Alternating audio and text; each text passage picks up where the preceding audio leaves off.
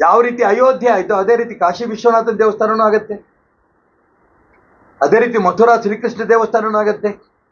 ಯಾವ್ಯಾವ ದೇವಸ್ಥಾನಗಳು ಈ ದೇಶದಲ್ಲಿ ಮೊಘಲರು ಒಡೆದಾಕಿ ಅಲ್ಲಿ ಮಸೀದಿಗಳನ್ನ ಕಟ್ಟಿದ್ರೋ ಆ ಎಲ್ಲ ದೇವಸ್ಥಾನಗಳು ಕೂಡ ಇವತ್ತಿಲ್ಲ. ನಾಳೆ ಮತ್ತೆ ಆ ಮಸೀದಿಗಳು ಧ್ವಂಸ ಆಗಿ ಅಲ್ಲಿ ಹಿಂದೂ ದೇವಾಲಯಗಳು ಬಂದೇ ಬರುತ್ತೆ.